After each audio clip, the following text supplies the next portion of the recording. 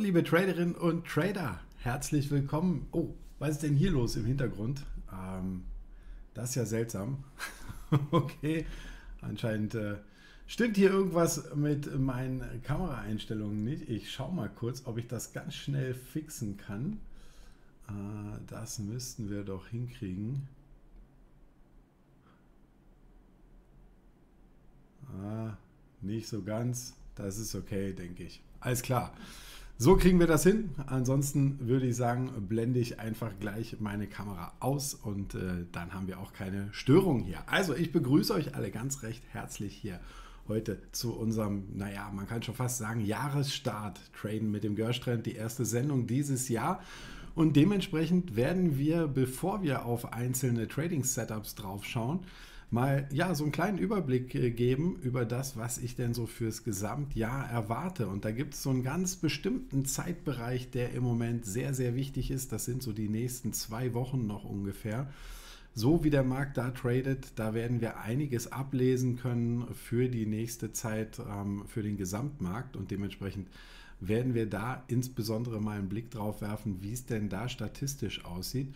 Und ich werde euch auch ein paar andere wichtige Dinge zeigen, die im Prinzip mitbestimmen, was ich denn für dieses Handelsjahr erwarte. Ich kann schon mal sagen, es ist gar nicht so schlecht. Also ich bin da sehr, sehr weit am oberen Ende der Range, wenn man mal schaut, was die Wall Street Analysten so erwarten. Ich schaue ja immer gerne auf den S&P 500, weil so der US-Markt für mich so ziemlich der wichtigste Aktienmarkt ist, der heute im Übrigen im Cashmarkt geschlossen ist. Nicht, dass ihr euch wundert, dass sich da die Kurse im Moment nicht bewegen. Da ist heute Martin Luther King Jr. Day.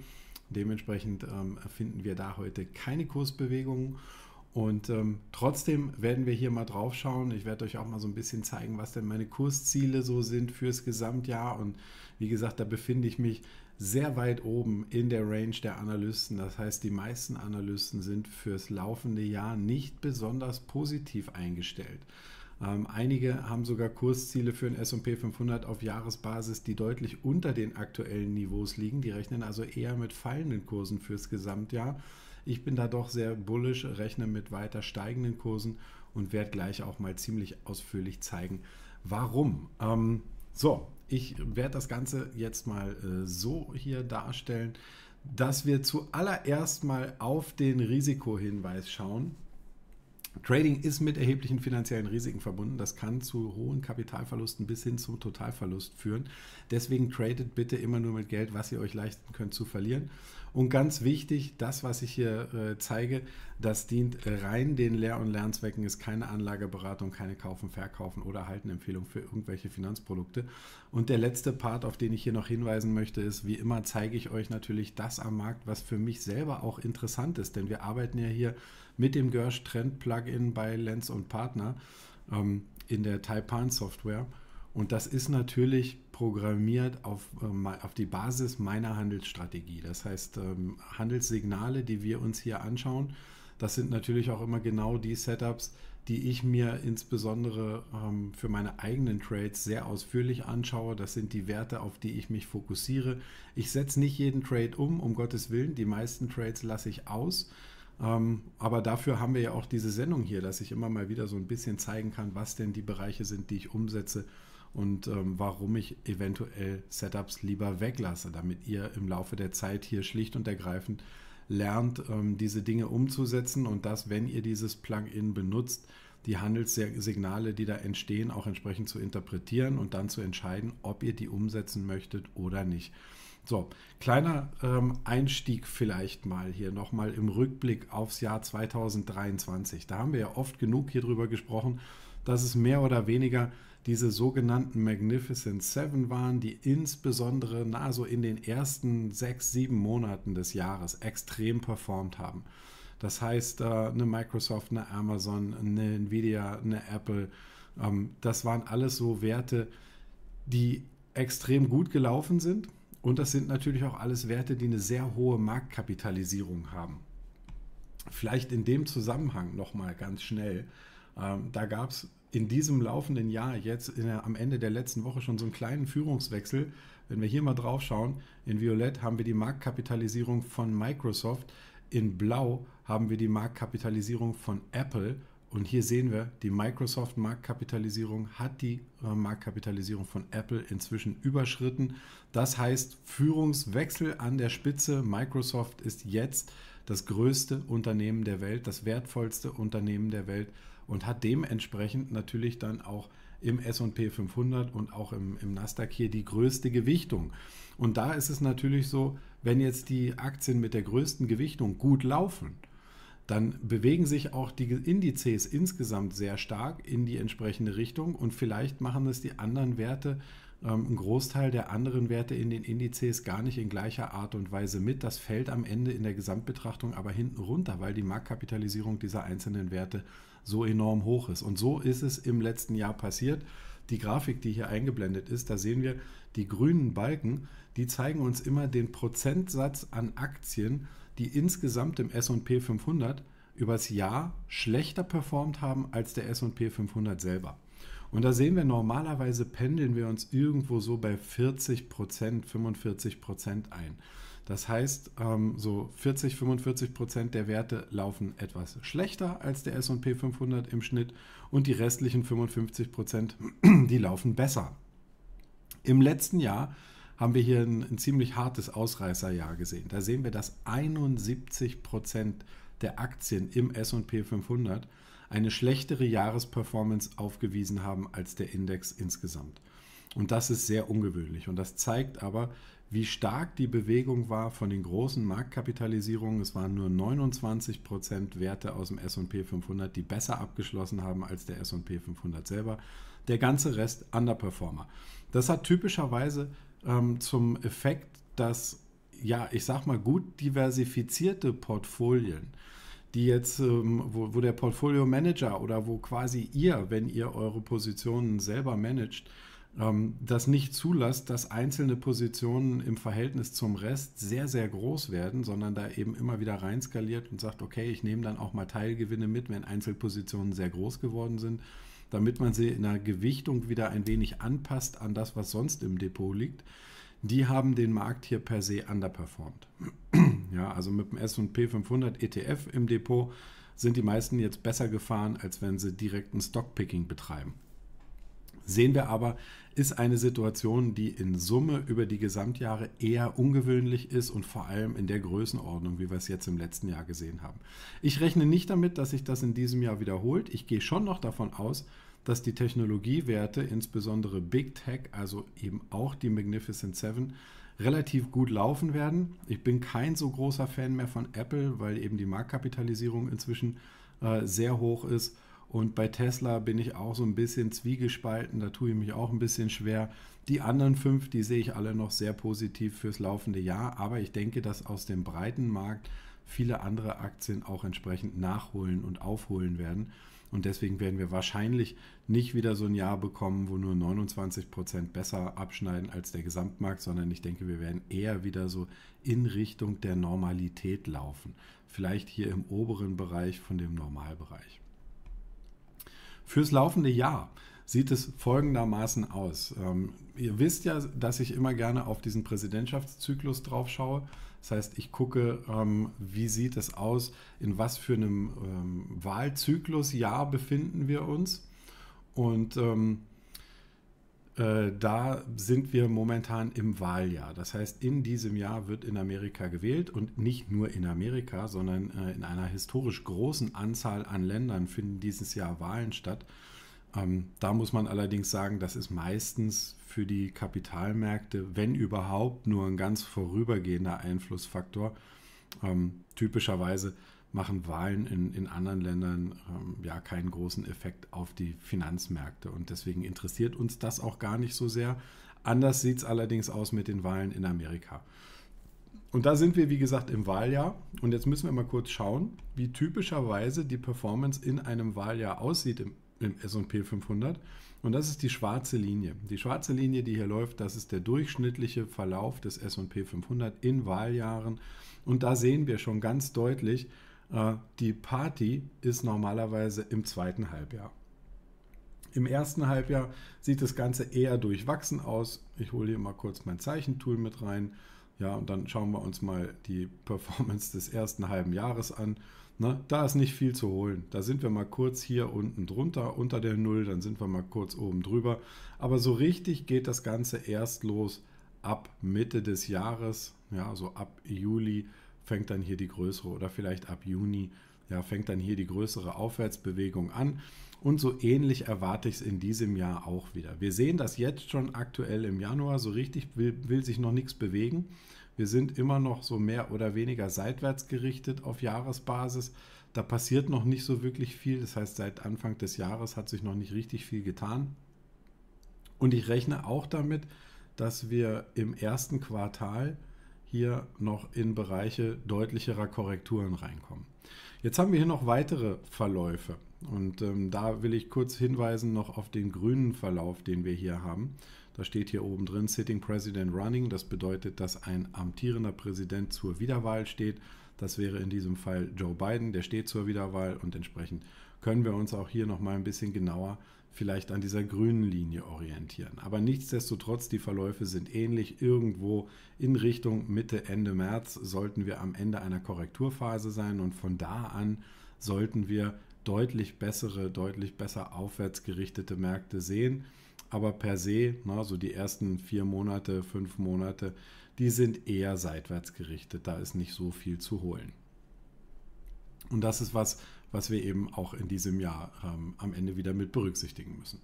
Dann haben wir hier ähm, diesen Bereich noch, da sehen wir einmal alle Wahljahre und dann ähm, haben wir hier einmal den, ähm, äh, so, dann haben wir einmal äh, den Verlauf Wahljahre nachdem im Vorjahr mindestens 10% Kursperformance angefallen sind. Und falls ihr euch nochmal zurückerinnert, 2023 haben wir im SP so ungefähr 24% Gewinn gesehen, also ein sehr, sehr gutes Jahr. Wir haben gerade gesehen, das kommt von der Minderheit der Aktien, aber insgesamt ein sehr gutes Jahr.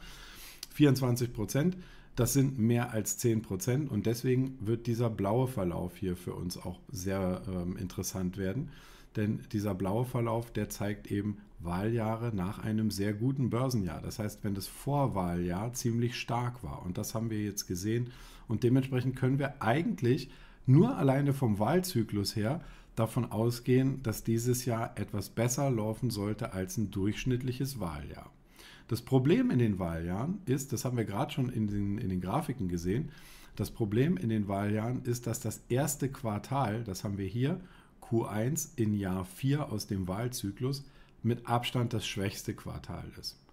Wir sollten uns also darauf einstellen, dass Januar, Februar, März nicht allzu viel los ist und dass wir hier auch nicht allzu viele Trades machen müssen. Also fürs Investmentdepot heißt es normalerweise, wir können hier warten bis zum Ende des Quartals, bis wir wieder neue Kandidaten suchen zum Einstieg. Und fürs Trading Depot heißt das, wenn wir auf der Long-Seite aktiv sein wollen, dann sollten wir hier mit etwas geringerer Trade-Frequenz arbeiten, vielleicht mit etwas kleineren Positionen, weil es typischerweise nicht gerade ähm, die Saison ist, in der die Märkte Wahnsinns-Rallies zeigen. Für die Gesamtjahresperformance können wir uns hier mal ganz, ganz, äh, ganz clever anschauen. Das ist so eine kleine Statistik. Seit 1950 ist hier mal aufgeführt Jahre, in denen das Vorjahr sehr positiv war und zwei Jahre vorher negativ. Also genau die Situation, die wir jetzt hatten. Na, wenn wir hier mal schauen, 2022 war der SP 500 ungefähr 20 Prozent hinten. 2023 hat der SP 500 weit über 20 Prozent Performance gezeigt. Also ein ganz klarer Wechsel. Das ist typischerweise der Wechsel nach einem Bärenmarkt, von einem Bärenmarkt auf einen Bullenmarkt. Das sind diese Varianten, die wir hier haben.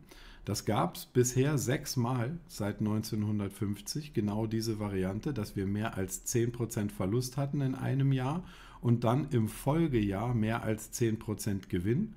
Und das hier, das ist das Ergebnis daraus. Das ist die Jahresentwicklung quasi für Jahr 3. Wenn wir uns hier anschauen, ähm, Jahr 1, das wäre jetzt 2022, Jahr 2, das wäre hier 2023 und dann haben wir hier Jahr 3. Und da sehen wir im Durchschnitt machen wir in so einem äh, Jahr 11,7% Performance Und das ist auch so ziemlich das, was ich für dieses Jahr erwarte. So 11 Prozent, 12 Prozent. Ähm, wenn jetzt der Januar gut läuft, dann rechne ich damit, dass wir sehr hohe Chancen haben, dass das Ganze sich in diese Richtung ungefähr dann auch wieder entwickelt. Das, was für uns erstmal hier sehr positiv ist, in diesen ganzen sechs Jahren gab es nicht ein einziges Jahr, was negativ war. Und das schlechteste Einzeljahr hatte 7,7% Performance im Gesamtjahr. Ja, und das ist äh, alles andere als schlecht. Ich denke, damit kann man als Investor durchaus gut leben. Damit steht man immer noch besser da, als wenn man sich irgendwelche Anleihen ins Depot nimmt und einfach nur die Rendite auf die Anleihen kassiert. Ein weiteres, eine, äh, eine weitere Statistik, auf die wir hier drauf schauen, das ist November und Dezember in einem Handelsjahr sehr positiv und dann schauen wir, was sich daraus ergibt. November, Dezember über 10% Kursgewinn hatten wir hier eben auch sechs Jahre äh, seit 1950. Das sind die sechs Jahre, in denen das aufgetaucht ist. Das war die Performance im November und Dezember kumuliert. Und wir sehen, wir hatten jetzt in 2023 eben auch wieder einen sehr starken November, einen sehr starken Dezember, 14,2. Ähm, also da liegen wir ganz gut in dieser Range, in der wir in diesen sechs Jahren vorher waren, wo das aufgetaucht ist. Und das stimmt mich hier ganz positiv noch für den Januar, denn das ist typischerweise eine Ausgangslage, in der wir in einen relativ starken Januar starten dann gab es in diesen sechs Situationen, wo das aufgetaucht ist, nicht ein einziges erstes Quartal, was negativ war und schon gar kein Gesamtjahr, was dann negativ war. Im Schnitt haben wir hier 20% Performance pro Jahr gesehen, wenn der November und der Dezember des Vorjahres mehr als 10% Performance gemacht haben. Also alles, was wir uns jetzt angeschaut hatten an Statistik, egal ob es Wahljahr ist oder irgendwelche anderen Statistiken, die mit dem Kursverlauf oder mit der Kursperformance des letzten Jahres zu tun haben, ist das alles enorm bullisch und wir liegen im Schnitt hier so fast bei 15 bis 20 Prozent Performance, je nachdem, welche Statistik wir uns anschauen. Das stimmt jetzt erstmal sehr, sehr positiv. Jetzt haben wir aber in diesem Handelsjahr einen sehr schwachen Start gehabt ins Jahr. Das können wir uns mal kurz angucken. Ähm, wir haben zwei Dinge, auf die wir hier immer schauen, Anfang des Jahres. Das erste hier, das ist die sogenannte Santa Claus Rally, die Weihnachtsmann Rally. Und das zweite hier ist First Five Days, die ersten fünf Handelstage des Jahres. Da mussten wir leider in diesem Jahr sehen, dass beides negativ war. Santa Claus Rally im SP 500 minus 0,9% Performance. In den ersten fünf Handelstagen im Januar minus 0,1% Performance. Also beides negativ. So, und deswegen habe ich gesagt, werden die nächsten zwei Wochen durchaus entscheidend sein fürs Gesamtjahr. Denn ähm, wie der Januar insgesamt endet, das wird jetzt sehr wichtig werden. Zumindest wenn wir uns den statistischen Durchschnitt anschauen. Denn wenn der Januar insgesamt jetzt negativ wird, nachdem Santa Claus und First Five Days negativ waren, dann haben wir relativ schlechte Karten für den Gesamtmarkt. Dann haben wir im Durchschnitt hier eine Kursperformance von minus 3,6 Prozent. Über die ganzen Jahre, in denen das seit 1950 so aufgetaucht ist. Minus 3,6 Prozent. Trefferquote, also positive Jahre, sind immer noch mehr als negative. Wir haben fünf positive und drei negative in diesen acht Jahren. Und durch dieses eine sehr schlechte Jahr hier in 2008 äh, wird natürlich der gesamte Schnitt auch runtergerissen und läuft hier negativ. Per se bleibt es aber so, wenn wir uns diese klassische typische Auswertung, so wie wir sie uns immer angucken, hier anschauen, dann haben wir eine durchschnittliche Performance von minus 3,6 Prozent aufs Gesamtjahr, wenn alle drei Bereiche, die wir uns hier aus der Januar-Performance anschauen, negativ sind. Und vor allem für den Februar spricht das nicht besonders gut. Ja, wir haben in, in acht Situationen, in denen das aufgetaucht ist, dann auch sechsmal noch einen negativen Februar gehabt. Ja, da hat sich also diese Schwäche aus dem Januar nochmal weiter durchgezogen in den Februar. Sollte jetzt allerdings die Gesamtperformance im Januar positiv verlaufen, und das ist so die kleine Hoffnung, die ich im Moment noch habe, Na, vor allem, wenn wir nochmal schauen auf diese Folie, die wir uns hier angeguckt hatten, was ist, wenn November und Dezember positiv sind, dann haben wir ganz häufig auch entsprechend einen positiven Januar. Deswegen sehe ich im Moment aufgrund dieser starken Jahresendperformance vom letzten Jahr noch ganz gute Chancen dafür, dass wir den Gesamtmonat positiv sehen. Und sollte das passieren, dann kommen wir in diese Liste rein. Das ist tatsächlich erst dreimal passiert seit 1950, dass wir hier also Santa Claus und First Five Days negativ hatten, dann aber insgesamt einen positiven Januar. Ja, und da sieht das Bild ganz anders aus. In all diesen Situationen hatten wir am Ende auch einen positiven Februar und auch sehr starke letzte elf Monate im Jahr. Und das bringt uns hier auch wieder auf eine durchschnittliche Performance von 20% pro Jahr. Ja, also es wird wichtig sein, auf jeden Fall, wie der Januar zu Ende geht. Sollte der Januar positiv zu Ende gehen, mit einem Gewinn im SP 500, dann ist das ein sehr, sehr gutes, ein sehr bullisches Zeichen für den Gesamtmarkt. Und dann gehe ich auch davon aus, dass wir ein wirklich gutes Handelsjahr bekommen. Ähm, sollten wir negativ werden oder bleiben im Januar, dann haben wir eben diese Situation hier. Da müssen wir jetzt noch einmal ganz kurz ein bisschen genauer drauf schauen und gucken uns nochmal die Jahre an, die hier wirklich negativ waren. Das waren diese drei. Ja, und da können wir überall auch makroökonomische Gründe finden, warum dieses Jahr so extrem schlecht gelaufen ist. 1969 war ähm, die USA in einer ganz tiefen Rezession äh, verhaftet. Also das war ein, ein ganz klares Rezessionsjahr. Im Moment ist es so, dass viele Analysten inzwischen davon ausgehen, dass wir hier eine Soft Landing kriegen von der Fed, dass es also keine Rezession geben wird in Amerika. Ich sehe die Chance auch im Moment noch als relativ gering an. Dann würde dieser Gefahrenpunkt schon mal wegfallen. Hier äh, ist die Dotcom-Blase geplatzt. Ja, da hatten wir eine absolute äh, Überbewertung in den ganzen Technologieaktien. Das sehe ich in diesem Jahr auch nicht. Und hier hatten wir die große Finanzkrise. Wir hatten im letzten Jahr eine Bankenpleite oder mehrere Bankenpleiten, die haben wir gut überstanden. Ich sehe hier keine Veranlassung, irgendwie davon auszugehen, dass wir eine nächste Finanzkrise bekommen. Und deswegen kann man hier natürlich auch immer noch sagen, okay, in diesen drei Jahren, die hier so negativ waren, haben wir ganz klar externe Faktoren gehabt, die darauf äh, ähm, hingewiesen haben, die mit Schuld waren an dieser negativen Performance. Und in den übrigen Jahren ist das Gesamtjahr trotzdem gut gelaufen, auch wenn der Januar negativ war. Und von daher würde ich diesen Wert hier minus 3,6, das würde ich ein wenig relativieren wollen, ähm, denn äh, ich gehe davon aus, dass wir keine makroökonomischen Bedingungen bekommen, die es äh, dem, dem Markt dann hier möglich machen, solche äh, sehr schlechten Jahre zu erwirtschaften. Und von daher hm. Es sei denn, wir kriegen irgendeinen externen Schock, der im Moment halt noch nicht eingeplant ist. Ja. So, also so viel mal von der Seite. Das ist das, was wir hier von Seiten dieser Jahresperformances uns mal anschauen wollten. Dann würde ich sagen, mh, hm, gehen wir jetzt hier mal äh, rein in die, ich mache das mal so, dann gehen wir mal rein. Mh, hm, so, in die, in die komplette äh, Handelssoftware. Da sind wir hier jetzt in der Taipan-Software. Und das, was wir uns hier mal als erstes anschauen, das finden wir hier im Strategiecenter. Im Strategiecenter in der Taipan Handelsplattform. Und da gehen wir in, die, ähm, in diese Strategie Gersh Trend rein und dann findet ihr eine, eine Auswertung von den einzelnen ja, Indizes, die ihr dann quasi hier frei hinterlegen könnt. Die sieht in dieser Art und Weise aus. Das Erste, was ich ja immer mache hier mit euch, ist, wir schauen kurz auf die Sektoren.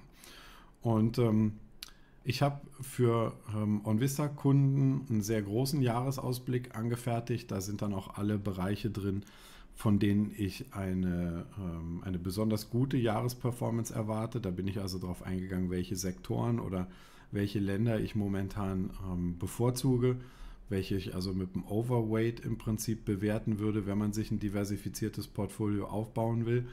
Und ähm, ja, da können wir schon mal ganz klar sagen, da stehen relativ weit vorne mit dabei Technologie. Gehe ich davon aus, dass sich das in diesem Jahr weiter sehr gut entwickeln wird. Ich glaube nicht, dass der Spread zwischen Technologie und, und übrigen Markt so groß sein wird wie im letzten Jahr, aber ich denke schon, dass Technologie weiter ein Performance-Zugpferd sein wird für die Gesamtmärkte. Der Bereich Communication Services, der zählt bei mir irgendwo zu Technologie mit dazu. Das passt alles ganz gut zusammen, deswegen fasse ich die immer gerne zusammen. Der Bereich Financials, den habe ich fürs erste Halbjahr auch als Outperformance ähm, fürs Gesamtjahr gesehen. Und den Laggard, den wir hier haben, Energy, Ähm, das ist auch ein Bereich, den ich für sehr positiv halte. Und ansonsten, Industrials ist hier auch noch was, was mich interessiert. Das, was jetzt von der Stärke, von der relativen Stärke her auffällt, ist, dass Technologie hier schon wieder ganz oben sitzt, wenn wir uns äh, die relative Stärke nach Levi anschauen. Also ganz, ganz weit vorne. Und auf ähm, Wochenbasis, wenn wir uns anschauen, die Performance der vergangenen Woche, ja, dann steht hier Technologie mit über 4%. Dann kommt hier ähm, der Bereich Communication Services mit äh, 2%. Und dann können wir hier weitergehen. Dann sind wir bei Consumer Staples. Healthcare ist extrem gut gelaufen bisher in diesem Jahr. Ähm, etwas überraschend, wie ich finde, denn der Gesundheitssektor ist normalerweise in Wahljahren nicht so besonders positiv zu werten. Und Energie ist wieder ganz klar der Underperformer, genau wie wir das letztes Jahr schon mal gesehen haben. Ähm, das wird sich meiner Meinung nach aber im Laufe des Jahres relativieren. Denn wir haben im letzten Jahr sehr harte Vergleiche gesehen, sehr schwierige Vergleiche für die Energieunternehmen äh, von Seiten der Earnings. Und das war, wird jetzt im vierten Quartal nochmal so sein. Also die vier, vierte Quartalsergebnisse ähm, der Energieunternehmen, die werden im Vergleich zum vierten Quartal 2022 wohl überwiegend auch noch deutlich schlechter abschneiden. Ähm, von da an werden die Vergleiche aber viel einfacher, denn dann sind wir in, in Regionen ähm, vorgedrungen, wo der Ölpreis schon wieder zurückgekommen ist. Und dann werden die Vergleiche leichter. Es ist natürlich klar, wenn man ein ölförderndes Unternehmen hat und im Moment können vielleicht 70 Dollar pro Barrel am Markt ähm, erzielt werden und vor einem Jahr waren es vielleicht 100, 110 Dollar, dann ist natürlich logisch, dass die Finanzergebnisse ähm, in diesem Quartal optisch sehr viel schlechter aussehen als im Jahr vorher. Und das hat den Energiemarkt unter Druck gesetzt. Und da gehe ich, wie gesagt, davon aus, dass sich das im Laufe des Jahres umkehrt. Und ähm, ich denke, Energie könnte hier deutlich aufholen wieder im Vergleich ähm, zu den anderen Sektoren. So, gehen wir mal ein bisschen hier in unsere ähm, Einzelwertauswertung rein und ich schaue hier immer ganz gerne auf den HDAX, weil da natürlich so die ganzen großen Unternehmen mit drin sind, alles was vom Bereich Deutschland so wichtig ist.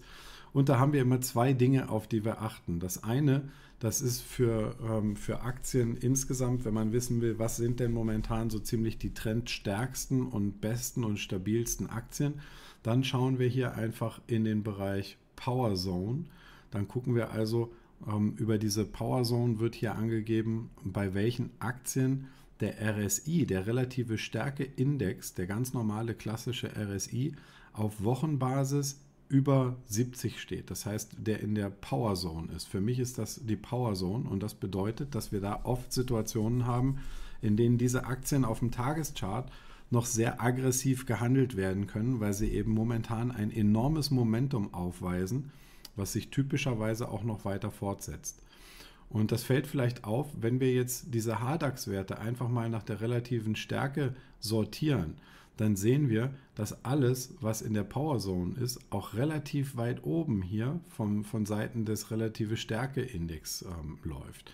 Das sind also die Werte, die, die die relative Stärke hier ganz weit oben haben, die im Moment quasi die trendstabilsten sind, beziehungsweise die trendstärksten. Und wenn man dann sieht, dass man hier die Doppelungen hat, ähm, dann kann man hier wirklich ganz gut die Top-Picks rausfinden. Und das ist im Moment hier ganz klar eine Rheinmetall-Aktie. Und wenn wir bei Rheinmetall hier mal auf den Chart schauen, ja, dann sieht man auch, wo es herkommt. Ne? Also hier jagt ein hoch das nächste. Ähm, Im Prinzip hatten wir hier nochmal eine Korrektur, so eine kleine ABC-Korrektur in der Aktie von Rheinmetall, wenn wir sie uns hier anschauen. Und seitdem sind wir hier wieder aufwärts gerichtet. Ja, das ist ein, ein, ein akuter Trend, der hier läuft, völlig intakt. Wir hatten hier nochmal so, so einen Versuch, so einen kleinen Versuch hier, das Rücksetzerniveau zu testen. Ähm, der hat auch gehalten. Es ging da direkt danach deutlich weiter hier nach oben und jetzt haben wir gerade heute hier wieder einen Ausbruch zur Oberseite. Bei Rheinmetall kommt jetzt auch noch dazu, dass wir hier so einiges an äh, Insiderkäufen hatten. Ähm, das ist auch immer noch mal kurzfristig recht positiv für eine Aktie. Wir haben gesehen, dass wir hier eine ganz klare Kreuzung haben zwischen 50er und 200er gleitendem Durchschnitt. Also Rheinmetall im, im letzten Jahr die beste Aktie im DAX und setzt sich jetzt auch hier weiter fort. Und ich finde, das ist immer eine schöne Position, um die im Depot zu haben, weil es quasi auch gleichzeitig so ein kleiner Hedge ist, ähm, gegen geopolitische Unsicherheiten. Wenn es also irgendwo äh, dazu kommt, dass sich Kriegsgebiete weiter ausweiten ähm, oder ähm, ja, irgendwelche Krisenherde sich verschärfen, dann sind es typischerweise Rüstungsaktien, die davon profitieren. Rheinmetall ist hier der absolute Branchenprimus in Europa und ähm, da sehen wir eben auch, dass sich überall die Rüstungsetats weiter aufblähen, immer mehr Geld dafür rausgegeben wird und deswegen halte ich Rheinmetall nach wie vor für ein gutes Investment, auch wenn der Einstiegskurs jetzt für mich zu hoch wäre. Also hier so Rücksetzer in den Bereich 290 äh, Euro fände ich durchaus interessant, wo wir aus diesem Dreieck hier ausgebrochen sind.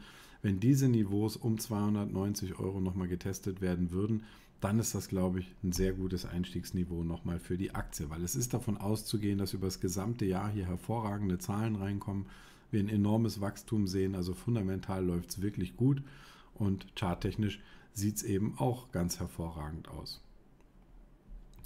Ähm, das nächste, was wir hier finden, das wäre die Aktie von Heidelberg Materials. Auch die ist enorm gut gelaufen. Da habe ich auch in, in meinen täglichen Sendungen häufiger drüber gesprochen. Da hatten wir uns auch angeschaut, hm, ja, warum es eigentlich so gut läuft. Weil die Zahlen, die wir bekommen vom Immobilienmarkt in Deutschland, die sind natürlich nicht besonders positiv. Ja, da sehen wir also, dass es rückläufig ist. Wir sind mit den Preisen enorm runtergerutscht wieder. Ähm, da gab es starke Preisrücksetzer. Logischerweise natürlich auch mit durch die hohen Finanzierungskosten, die hohen Hypotheken, die im Moment zu zahlen sind. Dadurch wird weniger verkauft. Es wird auch viel weniger gebaut. Ja, und das ist natürlich ein Problem per se für, für Firmen wie Heidelberg Materials, die ja hier überwiegend im, im Zementbereich auch unterwegs sind. Aber Heidelberg Materials macht eben nur einen kleinen Teil seiner Umsätze in Deutschland sondern hat ganz andere hm, Gebiete, die durchaus viel wichtiger sind, wie zum Beispiel Amerika, Nordamerika. Und da boomt es immer noch im, im, Baumarkt. Ja, wenn wir uns da die Immobilienaktien anschauen, ähm, die Häuslebauer, die gehen durch die Decke, da ist richtig Druck drauf und dementsprechend ist es auch nicht weiter verwunderlich, dass hier ähm, die Aktie von Heidelberg Materials weiterläuft. Wenn wir uns das mal anschauen, dann können wir hier davon ausgehen, dass wir auch übers Plugin wieder Signale bekommen, wenn hier ein Rücksetzer erfolgt ist und wir sehen, dass die Bodenbildung hier eingesetzt hat, dann dürften wir davon ausgehen, dass wir hier auch wieder neue Einstiegssignale bekommen, so wie es hier gelaufen ist und hier. Da hatten wir also zwei Bereiche, in denen man danach richtig schön auf der Long-Seite hier partizipieren konnte. Da ging es sehr, sehr schön, sehr sauber nach oben. Und dann haben wir noch ein weiteres Einstiegssignal, das liegt da. Hier sehen wir den Pfeil an diesem Tag ist das, äh, ist das Einstiegssignal generiert worden. Aber wenn wir jetzt uns angucken, wie sich der Kurs danach bewegt hat, dann habt ihr ja vielleicht schon, wenn ihr ein paar Mal hier mit dabei wart, schon mitbekommen, wie ich diese Signale handle. Wenn ich entscheide, dass ich sowas umsetzen möchte, dann warte ich immer mindestens auf den Ausbruch über die Signalkerze. Das hier war die Signalkerze, das heißt, der Kurs hätte über das hoch hier gehen müssen und das ist nie passiert. Ja, das ist eine gleiche Situation wie hier. Da sind wir auch nicht übers Hoch gegangen. Wir sind dann erst mit dieser Kerze hier da übers Hoch gegangen, nach diesem Signal und deswegen kam hier auch erst der Einstieg. Hier sind wir direkt sofort am nächsten Tag. Hier kam das Kaufsignal und sofort am nächsten Tag sind wir in die Position reingekommen. Hier sind wir nie in die Position reingekommen in der dritten Version, weil das, der Kurs nie oben rüber gelaufen ist. Und deswegen ist es auch immer so wichtig, mindestens auf den Ausbruch über die Signalkerze zu warten, weil man eben ganz häufig so kleine Fehlsignale, wenn sie auftauchen, einfach darum, damit umschifft, dass dieser Ausbruch nach oben nicht erfolgt. Ja, das ist also auch nochmal wichtig hier zu erwähnen für die Einstiegssetups. Ja, und deswegen war diese Konsolidierung nach unten hier nicht weiter schlimm. Das Problem war dann für die Signallage, dass diese Bewegung hier so extrem gewesen ist auf der Abwärtsseite, dass wir hier deutlich in den negativen Görstrend gedreht haben. Und das schließt dann neue Trades im Prinzip so lange aus, wie der Görstrend hier noch negativ ist. So lange wollen wir nicht in die Long-Richtung traden. Ja, das ist ein, ein Setup, das ist darauf ausgerichtet, relative Stärke zu handeln. Und wir wollen eben immer dann kaufen, wenn die Märkte insgesamt stark sind. Das heißt, das, was wir jetzt hier sehen müssten bei Heidelberg Materials, wäre ein Rücksetzer in diesem Bereich unter 50, dass der Slow Stochastic hier unter 50 geht und dann ähm, äh, wollen wir sehen, dass wir eine positive Kreuzung bekommen. Ja, sowas wie hier, eine positive Kreuzung in der Stochastik ne, oder wie hier. Und das Ganze bei positivem Gerstrend. Das ist das, was wir sehen wollen. Wir wollen sehen, dass die Korrekturen da sind, ausreichend sind, dass es auch wirklich nachhaltige Korrekturen sind. Das heißt, wir müssen hier runterkommen im Stochastik. Ansonsten ist die Korrektur nicht groß genug, dass wir sie handeln wollen. Und die darf aber auch nicht so dynamisch sein, dass wir im Gerstrend hier auf die Negativseite wechseln. Wenn das passiert, dann fallen diese Trades eben auch raus. Also das sind so die beiden stärksten Aktien, die wir hier im HDAX im Moment finden können, Rheinmetall, Heidelberg Materials. Dann haben wir hier noch Hoch-Tief, ähm, na, die bewegen sich auch sehr gut. Da hatten wir hier zuletzt auch noch ein paar sehr schöne Einstiegs-Setups für die Long-Seite. Da sind wir jetzt auch schon leider über diese Zwischenhochs rausgegangen ähm, und dementsprechend müssen wir auch hier jetzt auf eine Korrektur warten, haben aber eine gute Chance, wenn die Hochtief-Aktie zurückkommt und wir sehen, dass die Stochastik hier weit genug zurückkommt, sehen die positive Kreuzung, sind im Gerstrand noch positiv, haben wir sehr gute Chancen, dass wir hier auch ähm, nochmal Einstiegssignale in Hochtief bekommen. Das nächste, was wir hier drauf haben, ist Airbus. Airbus, ähm, ja, schöne Absatzzahlen geliefert hat die äh, Erwartungen äh, sogar übertroffen oder hat die eigenen Ziele übertroffen. 720 Maschinen sollten ausgeliefert werden auf Jahresbasis, 735 sind es geworden. Entsprechend sehen wir hier auch eine schöne Euphorie, eine schöne Dynamik drin. Selbe Situation im Moment wie bei den äh, übrigen Aktien, die wir angeschaut haben bisher die letzten Tage sehr dynamische Aufwärtsbewegung und damit sind die Kaufbereiche erstmal durch. Also da brauchen wir nicht weiter drauf schauen. Und wenn man das Plugin hat, wird man von ganz alleine darauf hingewiesen, wenn es soweit ist, wieder Positionen aufzubauen. Und das Ganze passiert dann hier. Über, dieses, über diese Spalte hier Gerstrend Long und da sehen wir im Moment, wir haben hier ein Setup aus dem Technologiebereich in Deutschland, Computerdienstleistungen von Cancom. Ja, Cancom bietet IT-Dienstleistungen und äh, da ist am Freitag ein Long-Signal entstanden. Das können wir uns jetzt mal kurz angucken. Hier sehen wir das. Wir hatten bei Cancom ein Short-Setup als letztes. Das war das hier. Ja, hat sich sehr gut entwickelt. Einstiegsniveau für ein Short auf Cancom war hier. Na, und ähm, dann sind wir hier wirklich sehr dynamisch, sehr weit runtergelaufen in den Zielbereich. Denn wenn wir uns angucken, was hier der Stop ist. Der Stop, der geht normalerweise dann hier an das Zwischenhoch. Das war das Risiko. Ja, wenn wir jetzt zweimal das Risiko hier dranlegen, dann sind wir da im Zielbereich und dann ist die Aktie im Prinzip auch ziemlich genau in den Zielbereich gelaufen. Das hat sehr gut funktioniert. Und jetzt kriegen wir, nachdem der Trend gedreht hat und die Aktie jetzt hier korrigiert hat, kriegen wir jetzt hier aktuell gerade ein schönes Long-Setup in der Aktie von Cancom. Das heißt, das, worauf wir jetzt warten, ist per se ein Ausbruch über das Hoch vom Freitag. So, das wollen wir sehen. Das wäre der erste Signaltrigger. Das, was wir jetzt schon gesehen haben, ist, dass wir diese letzte Trendlinie hier schon nach oben verlassen haben am Freitag, sehr dynamisch. Die Korrekturlevel gefallen mir enorm gut. Wir haben hier nichts anderes gemacht, als den 50er gleitenden Durchschnitt zu testen. Wir haben hier eine positive Kreuzung zwischen 50er und 200er gleitendem Durchschnitt. Das ist mittelfristig und langfristig bullish. Ähm, das hier ist kurzfristig bullish, dass wir oberhalb des 50ers gedreht haben wieder.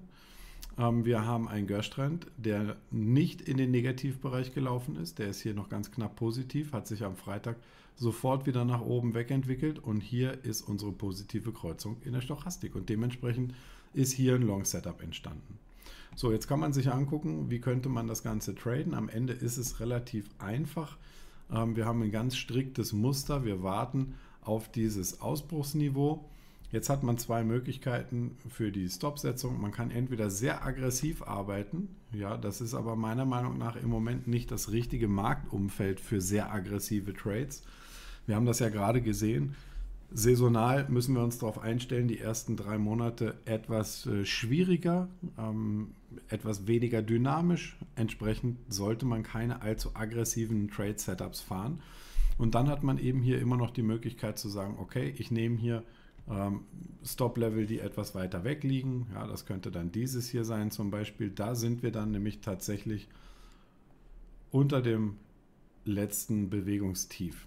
Ja, das hier ist das letzte Bewegungstief. Hier sind wir ja nur in der Korrektur und wir wollen natürlich nicht sehen, dass dieses Tief gerissen wird, weil dann setzen wir hier ja im Prinzip einen Abwärtstrend weiter fort. Dann haben wir diese Bewegung hier vom Abwärtstrend. Und das ist also die etwas defensivere Variante, sowas zu handeln. Da muss man aber natürlich auch auf der anderen Seite schauen, dass die Kursziele weit genug sind, dass sich solche Stops am Ende auch noch lohnen. Und hier kann man mit zwei Kurszielen arbeiten. Das eine ist natürlich immer ganz klar so ungefähr das alte Hoch. Das ist hier vielleicht so der 30-Euro-Bereich, die, die runde Zahl, an der wir hier schon mal gescheitert sind. Das wäre so der erste Zielbereich. Und der zweite Zielbereich, ja, mit dem wir hier arbeiten können, da gucken wir uns an, wie weit ist die letzte Korrektur gelaufen. Ja, und die ist hier so von, ich sag mal, von 30 vielleicht hier runtergelaufen. Naja, so bis äh, 27,50, also sagen wir mal 2,50 Euro. Dann kommen wir hier auf ein Kursziel von 32,50 Euro ungefähr. Passt mir sehr gut, gefällt mir sehr gut das Ziel, denn wir haben hier ein ziemlich starkes Widerstandslevel. Das liegt bei 33 Euro. Das heißt, wir haben jetzt hier ein Kursziel knapp unter 33 Euro. Ja, und damit kann man arbeiten. Ja, und das bringt im Prinzip hier ein gutes Chance-Risiko-Verhältnis für die Aktie von Cancom und am Ende passt hier soweit alles. Ja, wir haben den Görstrend hier auf Tagesbasis positiv. Wir sehen, die Korrektur ist weit genug gelaufen.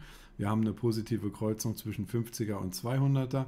Die Aktie ist über dem 50er, ist über dem 200er. Das ist erstmal alles bullish. Das Einzige, was hier mittelfristig noch negativ ist, ist, dass der 200er gleitende Durchschnitt fällt. Der 50er, der steigt aber schon inzwischen. Auf Wochenbasis sehen wir hier auch noch einen positiven Görstrend auf Wochenbasis. Na, wir sehen, ähm, dass wir hier einen, einen wieder ansteigenden RSI haben auf Wochenbasis. Das ist auch erstmal alles recht positiv. Jetzt kann man, das bietet sich auch immer ganz gut an, hier einmal noch kurz in die Saisonalitäten reinschauen. Da hole ich hier mal schnell die saisonale Analyse rein und wir sehen für die Aktie von Cancom aktuell auch eine saisonal extrem starke Phase. Typischerweise haben wir hier eine Bewegung, ähm, die, äh, die uns ähm, von 22.12. an bis 15.02. Das sind die Eckdaten, die hier über diese Saisonalität jetzt festgelegt sind, durch den saisonalen Filter, der bei mir hier dann vollautomatisch quasi auch über die Taipan-Plattform läuft. Und da haben wir typischerweise in dieser Phase bis 15.02. einen durchschnittlichen Gewinn von 12,8% und ein Chance-Risiko-Verhältnis von 3,6 zu 1.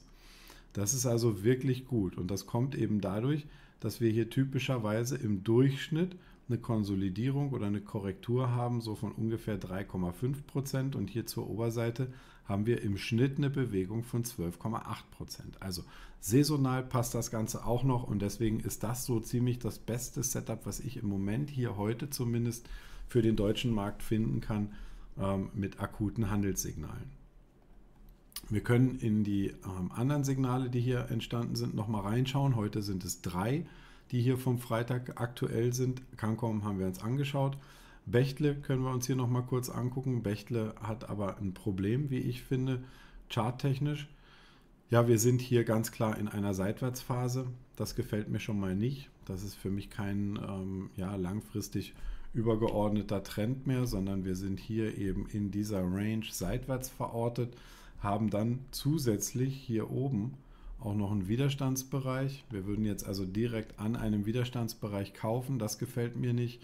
Ähm, und wir sehen auf der Unterseite, wenn wir hier mal in das erste Indikatorfeld schauen, sehen wir, dass der Görstrend hier ständig springt. Von grün auf rot, wieder auf grün, wieder auf rot, wieder auf grün. Das ist keine Konstanz.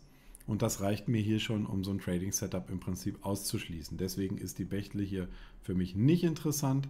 Und der zweite, der dritte Wert, den wir hier drin haben, ist Yen-Optik. Da können wir auch noch mal kurz hier in die Historie schauen und da sehen wir auch, wir sind hier übergeordnet irgendwie noch so ein bisschen abwärts gerichtet. Wir sehen auch, dass der 50er noch unterm 200er läuft. Das ist auch ein bisschen äh, ja, ungut, würde ich jetzt mal sagen. Wir sehen, dass der Kurs den 200er gleitenden Durchschnitt wieder verletzt hat nach unten und im Moment sieht der Kurs hier einfach schlicht und ergreifend ein bisschen gefangen aus und zwar gefangen zwischen 50 und 200 Tage Linie. Das ist ein ganz ungünstiger Bereich, in dem wir hier drin sind und deswegen würde auch ähm, die Yen-Optik-Aktie für mich im Moment hier nicht wirklich in Frage kommen. Wir können hier auch nochmal in die Saisonalitäten reinschauen. Ja, die sind bullish, das ist alles okay. Also saisonal sieht das gut aus, ähm, aber äh, mir gefällt das eben von Seiten der gleitenden Durchschnitte nicht und von dieser großen übergeordneten Abwärtsbewegung hier. Mhm. Klar, Momentum ist im Moment zur Oberseite, aber wir haben zuletzt eben hier auch ein deutliches Abwärtsmomentum gesehen. Also Yen Optik äh, ist okay, würde gehen, könnte man begründen, aber mir gefällt die Ausgangssituation bei Cancom deutlich besser. So, schauen wir noch mal kurz ähm, rein, was wir hier haben. Dann haben wir noch Setups auf der Short-Seite. Äh, kann ich vielleicht noch mal kurz zeigen, wie das aussieht. Das wäre jetzt hier bei der ThyssenKrupp. Na, sehen wir, dass es hier zuletzt immer wieder sind hier Short-Signale entstanden. Ähm, jetzt aktuell auch wieder. Finde ich nicht interessant, weil wir hier auf einem starken Unterstützungsniveau sind. Na, das kann man hier relativ groß einzeichnen. Von hier an ja, bis da drüben. Das ist ein starkes Support-Niveau, Unterstützungsniveau und deswegen würde ich hier auf der Unterseite auch nichts traden wollen. Abgesehen davon, dass der Gesamtmarkt aufwärts gerichtet ist und ähm, ich dann eben in diesen Phasen sowieso keine Short-Setups trade, aber ich zeige das nur mal, um euch zu zeigen, dass es auch fast in jeder Phase Märkte gibt, die relativ schwach sind. Und hier kann man auch nochmal sich das Ganze einfach nach dem RSL sortieren und kann mal gucken, was hier die schwächsten Aktien sind. HelloFresh, ja, die haben heute auch nochmal kräftig auf die Mütze gekriegt. Da ging es hier nochmal 5, 6 Prozent weiter runter. Dann haben wir ähm, die Aktie von Verbio, auch da ganz klar Abwärtstrend. Hier sehen wir das letzte Verkaufssignal in der Verbio-Aktie ist bei 34 Euro entstanden. Inzwischen stehen wir bei 23. Da war also auch ordentlich zu verdienen auf der Unterseite. Dann haben wir die Zalando-Aktie. Ja, auch da geht es hier deutlich abwärts. Letztes Verkaufssignal ist hier entstanden. Da lagen wir bei 21 Euro, jetzt liegen wir bei 18,25 Euro. Das erste Verkaufssignal hier drüben schon bei 26,50 Euro ungefähr. Dann haben wir die ganze große Abwärtsbewegung hier mitgemacht Richtung 20 Euro. Also ihr seht, das ist eben typisch, wenn wir Aktien haben, die schwach sind, dann finden wir in dieser Schwäche auch immer wieder ähm, Verkaufssetups. Ja, und wenn man jetzt der Meinung ist, der Gesamtmarkt ist at risk oder könnte vielleicht längerfristig abwärts kippen, dann kann man über dieses Plugin hier auch ganz einfach die Short-Setups sich raussuchen. So, jetzt können wir noch mal kurz gucken im äh, Nasdaq. Im Nasdaq haben wir natürlich hier jetzt entsprechend viele Werte, die relativ gut dastehen von Seiten des äh, übergeordneten Trends. Da können wir mal kurz schauen. Das ist hier eine Workday, das ist Nvidia, PDD Holdings, ähm, chinesischer Wert, der ähm, recht gut gelaufen ist in der letzten Zeit. Vertex Pharmaceuticals, T-Mobile, Pfizer, dann haben wir hier Zscaler aus dem Bereich Cybersecurity, Microsoft, gerade schon angeschaut, inzwischen wertvollstes Unternehmen der Welt. Die Costco ist wirklich gut gelaufen. Ähm, das ist auch was, was man immer wieder noch auf der Long-Seite spielen kann.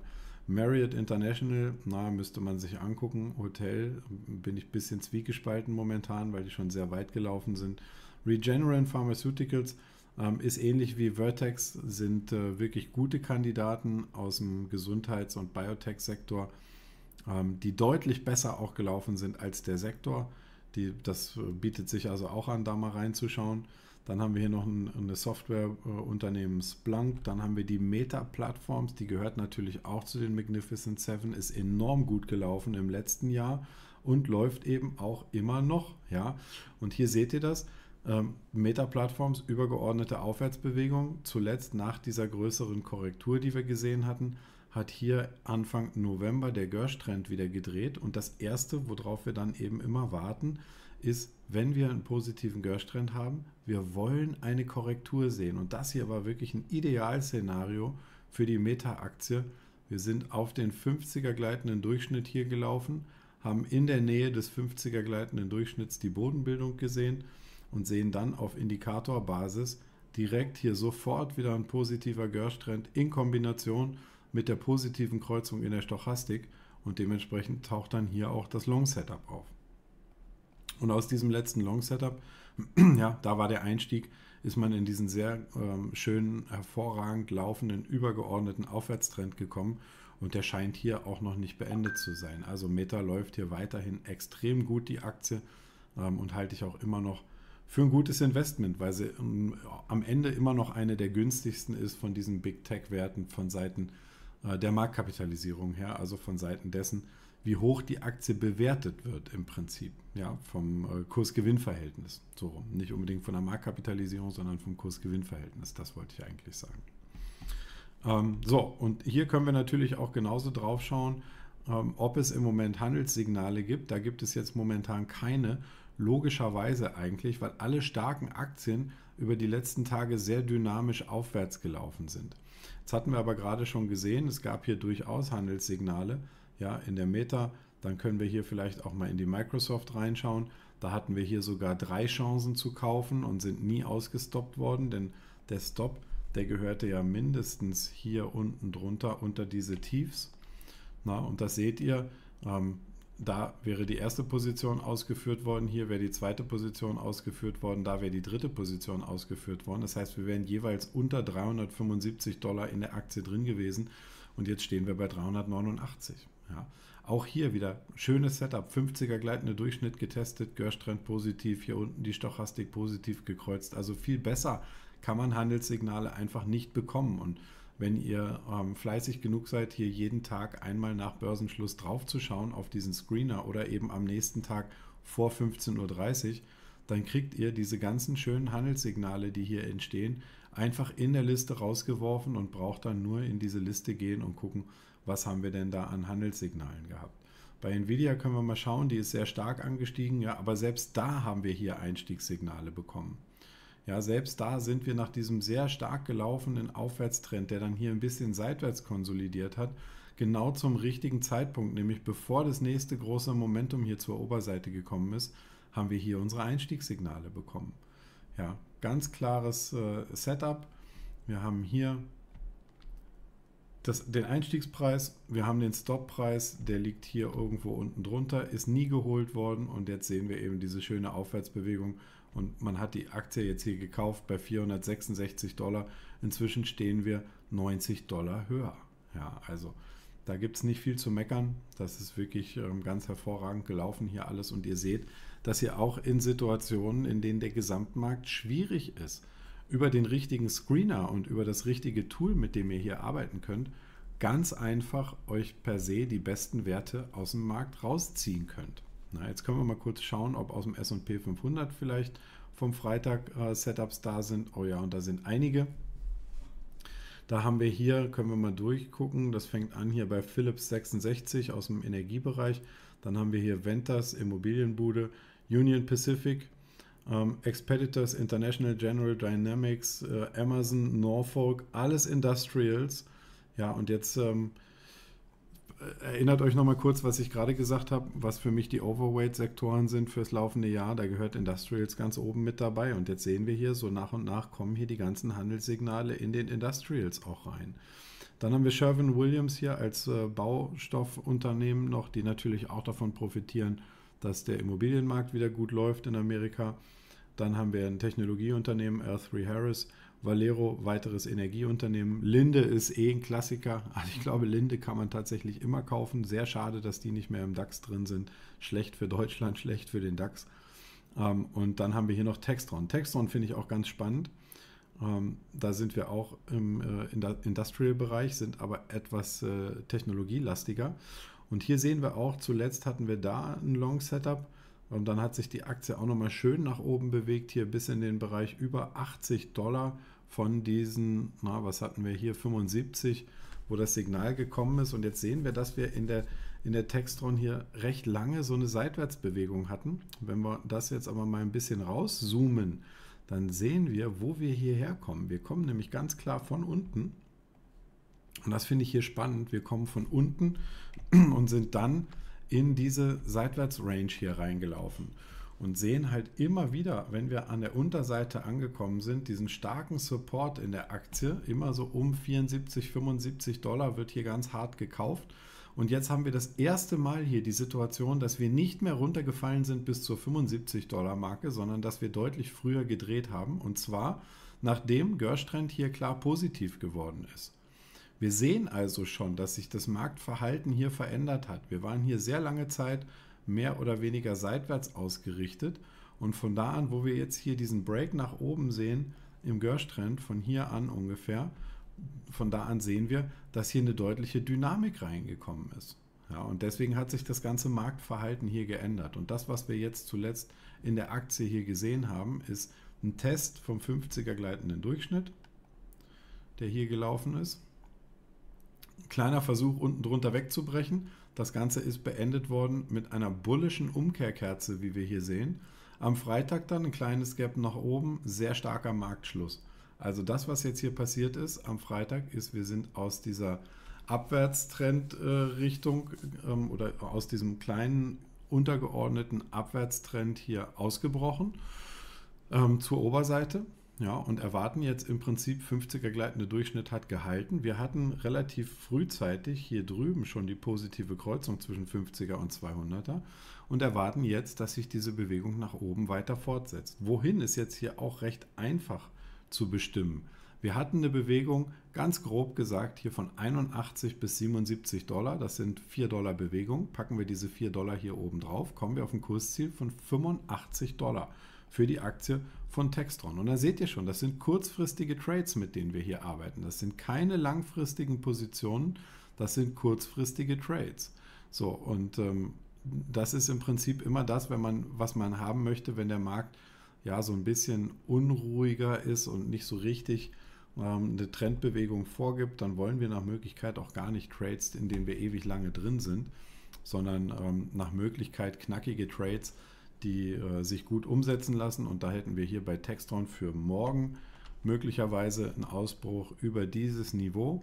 Heute ist ja Feiertag in Amerika, dementsprechend hier kein Handel, aber für morgen vielleicht den Ausbruch über dieses Niveau. Jetzt müsste man sich auf der Unterseite wieder anschauen, wo will man absichern? Ich würde wahrscheinlich irgendwo hier absichern. Ich würde nicht sehen wollen, dass wir hier nochmal drunter laufen. Ähm, und als Kursziel bietet sich hier als erstes Kursziel dieser Bereich an des alten Hochs. Da liegen wir so knapp 1 zu 1, ein bisschen weniger. Und das zweite Kursziel, das liegt dann hier bei 85 Dollar. Und da kann man sich natürlich immer entscheiden, möchte man die komplette Position nach oben betreuen oder will man vielleicht mal wenn man ein bisschen unsicherer ist oder die Märkte nicht ganz so gut laufen. Das wäre jetzt im Januar eigentlich ganz ratsam, dass man vielleicht eine erste Hälfte hier mitnimmt. Wenn das erste Ziel erreicht wird, dann realisiert man schon mal einen Teilgewinn und den Rest versucht man dann laufen zu lassen oben bis in den 85er Bereich. Ja, also das finde ich auch ganz spannend. Oder Wilhelm Ulrich hat hier gefragt, mit welchem, äh, um welchen Screener es sich hier handelt ähm, und was da für Kosten anfallen da ähm, einfach mal schauen auf der Website von äh, Lenz und Partner. Ihr habt den Link zu diesem Plugin auch unterm Video oder jetzt entsprechend dann auch nachher unter diesem Live-Video, wo wir gerade drauf sind. Das wird ja automatisch bei YouTube gespeichert und bleibt ja da auch erhalten. Und ähm, das äh, Plugin, mit dem wir da arbeiten, das ist das sogenannte Gersh Trend Plugin. Und das findet ihr hier über die ähm, über die Taipan-Plattform. Das hier ist im Prinzip das Kontrollcenter von der Taipan-Plattform. Und hier über diesen Punkt Strategie-Center könnt ihr euch dann, wenn ihr dieses Plugin installiert habt, ähm, das über die Strategien einfach rausholen. Das findet man hier unter Strategie laden. Ja, und da ist dann hier dieser Bereich Gersh Trend, äh, hier Gersh Trend, genau. Das hier Gersh COT, damit arbeiten wir in zwei Wochen wieder, wenn wir uns auf die ähm, Rohstoffmärkte konzentrieren. Ähm, die Aktien machen wir hier mit dem Gersh Trend Plugin und über dieses Plugin, wenn ihr das hier auswählt und dann auf Öffnen drückt, dann öffnet sich bei euch einfach diese Ansicht und ähm, hier oben könnt ihr im Prinzip jeden Index, der euch interessiert, könnt ihr hier reinpacken und ähm, ja, dieser Screener, der läuft dann hier automatisch. Das ist der Screener nach den äh, Gersh-Trendsignalen auf der Long-Seite und nach den Gersh-Trendsignalen auf der Short-Seite. Ja, und da haben wir uns ja gerade hier so ein paar Kandidaten angeguckt. Ähm, die übrigen, da gucken wir jetzt gar nicht mehr groß rein. Das schaffen wir alles gar nicht mehr. Aber ich glaube, ihr habt einen ganz guten Überblick bekommen, wie ich hier arbeite, wie ich meine Trades identifiziere. Vielleicht auch schon so einen ersten kleinen Einblick was für Trades ich umsetze und wo ich lieber ein bisschen vorsichtig bin. Ich schaue natürlich viel auf Unterstützung und Widerstände und insgesamt auf äh, Trendrichtungen und dementsprechend mh, hm, ja, sollte es so sein, dass ihr, wenn ihr hier häufiger dabei seid, ein gutes Gefühl kriegt, wie man mit diesen Positionen umgeht, wie man mit den Trades umgeht, welche Märkte man handelt, wo man lieber gerade die Finger von lässt. Und äh, de dementsprechend würde ich mich natürlich sehr freuen, wenn ihr in äh, vier Wochen, wenn wir den nächsten Termin hier für die Aktien haben, auch wieder dabei seid. Und dann werden wir mal ein bisschen schauen, vielleicht wie sich der ein oder andere Trade, das ein oder andere Setup, was wir uns heute hier angeschaut haben, wie sich das entwickelt hat. Und werden dann natürlich auch entsprechend gucken, was sich als neue Setups hier ergibt. Dann sind wir natürlich auch schon im Februar. Das heißt, hier können wir dann auch mal die Januar-Performance nochmal Revue passieren lassen und gucken, ähm, was das dann fürs Gesamtjahr für uns aussagt. Also, das sei es gewesen für heute. Ich bedanke mich bei euch und sage bis zum nächsten Mal. Macht's gut und bye bye.